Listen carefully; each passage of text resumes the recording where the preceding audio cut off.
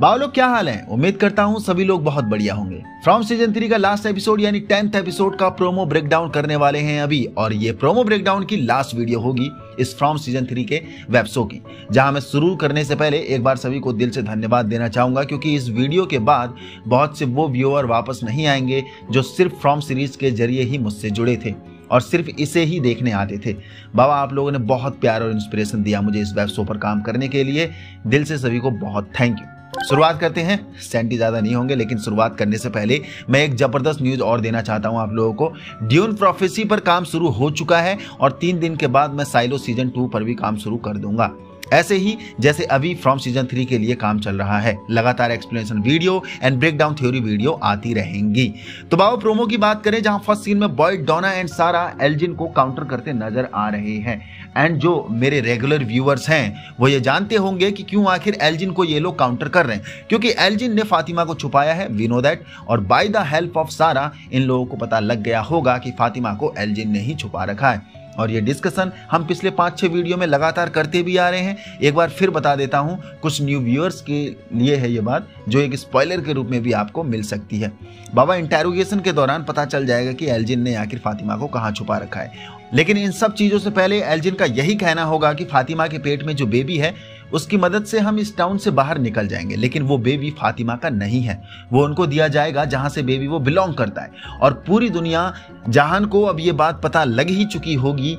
And surely उनको तो पता होगा ही, जो मेरे टेलीग्राम चैनल से भी जुड़े हुए हैं, कि बाबा फातिमा इस्माइली मॉन्स्टर को जन्म देने वाली है। जहाँ एक सीन में फातिमा डिलीवरी के दौरान चीखते हुए भी नज़र आ रही है। और बाबा एक फ़ैन मेड प्रोमो में तो इस्माइली मॉन्स्टर को जस्ट पैदा हुआ ही, होता भी दिखाई दिया है। खैर स्माइली मॉन्स्टर की पैदा हुए फ़ोटो भी लीक हो रखी है, जो मैंने टेलीग्राम चैनल पर डाल रखा है।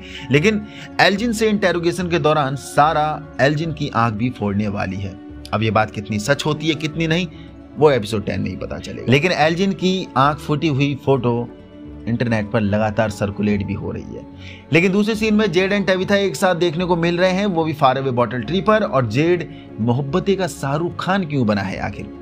भाई, जेड वायलिन बजाती नज़र आ रहा है। तो ये थ्योरी सच होने वाली है क्या? कि जेड एंड था पिछले जन्म के लवर हैं और मे भी वो पुराना टाइम पूरा याद करना चाह रहे हो, जहाँ तब उन्हें आंकोई चिल्ड्रन की बलि दी जा रही होगी और शायद वो अपना पूरा मोमेंट रिकॉल कर रहे होंगे एक साथ इस फारवे बॉटल ट्री पर आकर।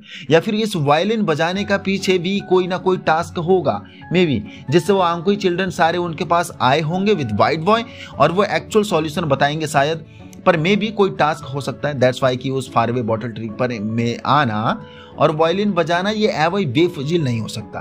क्योंकि प्रोमो के एक सीन में जेट को सडनली बहुत कुछ याद आता है और वो ऐसा चेहरा भी बनाता है। जस्ट वायलिन स्टॉप करके। या फिर इस वायलिन टास्क के पीछे ये और अपने पुराने दिन याद करने की कोशिश भी कर रहे होंगे। और इसी याद में कहीं ना कहीं सॉल्यूशन भी छुपा होगा। जहाँ टेविथा का ये वही सस्पिशियस फेस फिर देखने को मिल रहा है, जो हमने एंडिंग में देखा था, जो हमने पिछले एपिसोड में तब देख रहे थे, जब उससे विक्टर के पास जाते ही ये याद आया कि वो ही मिरांडा है। लेकिन बाबा, यस, अभी टेविथा को पूरी याददाश्त वापस नहीं आई है। तो मे बी एपिसोड टेन के स्टार्टिंग में हमें वो मंजर देखने को मिल सकता है, टेविथा की बाकी याद आते हुए। जहाँ बात करें तो इन दोनों फ़ोटो में जेड एंड टेविथा एक साथ देखने को मिल रहे हैं। पहले तो जेड के घर में, जहाँ वो बॉटल ट्री से निकली पर्ची में कुछ मिस्ट्री इन्होंने डिकोड कर ली है। दूसरी फ़ोटो ये बैकग्राउंड पेंटिंग के साथ देखने को मिल रही है, जहाँ मे भी टेविथा जेड को पूरी तरीके से याद दिलाने की कोशिश कर रही होगी कि हम दोनों पिछले जन्म के हस्बैंड एंड वाइफ थे। और ये सारी चीज़ें हमारे सामने ही स्टार्ट हुई थी। जहाँ इन पेंटिंग्स में, इन बॉटल ट्री की पर्चियों में जेड और टेबिथा से रिलेटेड कोई ऐसा राज ज़रूर छुपा हुआ है जो सॉल्यूशन तक लेकर जाएगा। देखते हैं बाबा एपिसोड टेन में ये सारी चीज़ें it just theory and prediction सही होगी या नहीं। सही होगी तो मज़ा ही आ जाएगा भाई। दूसरा, विक्टर की याद का सिलसिला अभी खत्म नहीं हुआ है। उसे और भी कुछ याद आना बाकी है, जो प्रोमो के इस सीन से पता लग रहा है। विक्टर कुछ ऐसे ट्रेडमार्क पर जाके इन्वेस्टिगेट करने की कोशिश कर रहा है, जो शायद उसकी मोम मिरांडा ने कुछ छुपाकर बनाया होगा सॉरी छुपा के रखा होगा। जो विक्टर को अब धीरे धीरे याद आ रहा होगा। वैसे मैं एक्साइटेड हूँ कि विक्टर टेविथा को मॉम बोलेगा या नहीं। दूसरा, देखा जाए तो टेविथा के अब तीन बच्चे हो गए हैं। और इस फुटेज में ईथन एंड विक्टर एक साथ भी देखने को मिल रहे हैं। तो देखते हैं बाबा एपिसोड टेन में इन दोनों के बीच क्या क्या खिचड़ी पकती है और ये वाला एंगल कहाँ तक बूस्ट होता है। बाकी ये तो हमें मोटा मोटा पता लगी गया है कि विक्टर टेबिथा इन जेट का कैरेक्टर इस टाउन के कर्ज को डिकोड करने के लिए डायरेक्ट रेस्पॉन्सिबल है। और यस मेकर इन कैरेक्टर के लिए यही डेस्टिनी चुनकर भी रखा है। लेकिन मैं एक्साइटेड हूँ रेंडल जूली और मिरिल के कैरेक्टर के लिए कि ये क्या तबाही मचाने वाले हैं। वह प्रोमो में दिख रहा है कि मिरिल को भी हेड स्ट्रोक ट्रॉमा आ रहे हैं अब just like Julie and Randall that's why की क्रिस्टी मिरिल से पूछ भी रही है कि आर यू ओके दूसरी तरफ़ रैंडल को फिर वही बक्स प्रॉब्लम दिख रही है मतलब महसूस हो रही है, जो प्रोमो में भी दिख रहा है। बाबा इट लुक लाइक कि टाउन के एक तरफ़ कुछ सुप्रीम पावर हेल्प तो कर रही है, इस टाउन के कर्ज को तोड़ने के लिए, जो टेविथा विक्टर एंड जेट के रूप में हमें मदद मिल रही है। बट दूसरी तरफ़ रेंडल जूली और मिरिल भाई, ये फिर प्रॉब्लम में फंसते दिख रहे हैं। सीज़न टू की एंडिंग की तरह, फिर वही मंजर होते नज़र आ रहे हैं हमारे सामने। तो भाई, ये तीन कैरेक्टर भी काफ़ी मिस्ट्री अपने साथ लेके चल रहे हैं। कहीं इन तीनों पर एक अलग से वीडियो में सारा पास्ट एंड फ्यूचर कनेक्शन जोड़ के कंक्लूजन निकालने की कोशिश करेंगे। इन पे अलग से बात कर लेंगे। बाकी बाबा बॉयड का भी बहुत बड़ा रोल होने वाला है एपिसोड टेन में। और बॉयड प्रोमो में फिर से केव के अंदर जाता दिख रहा है, जो मे भी सारा के ज़रिए ये भी पता लग जाएगा कि फातिमा ने आखिर पैदा किसे किया है, क्योंकि सारा को वॉइसेस सुनाई दे रही हैं।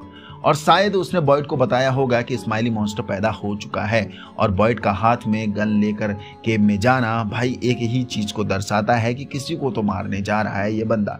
दूसरा स्माइली मॉन्स्टर के साथ अपने बॉयड का छत्तीस का आंकड़ा भी है, जो पिछले सीज़न में हमने देखा ही था कि बॉयड ने कैसे स्माइली मॉन्स्टर को मारा था। तो भाई वो मंजर फिर से शायद रिकॉल होता नज़र आ रहा है। मे बी मे बी फिर से इसे ही मारने निकल पड़ा होगा। But it is it is just theory and सच होती है यानी भाई एपिसोड टेन में ही पता चलेगा।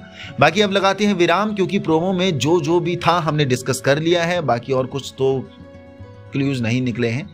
अब मिलते हैं नेक्स्ट वीडियो में, लेकिन बाबा, एक उड़ती उड़ती खबर आई है कि जिम मरने वाला है। वो भी एक ऐसे मॉन्स्टर क्रिएचर के हाथ जो दिन में भी निकल सकता है। और बहुत लोग इसे मैन इन येलो कहकर भी एड्रेस कर रहे हैं, जो एक नया पावरफुल मॉन्स्टर इंट्रोड्यूस होने वाला है हम लोगों को।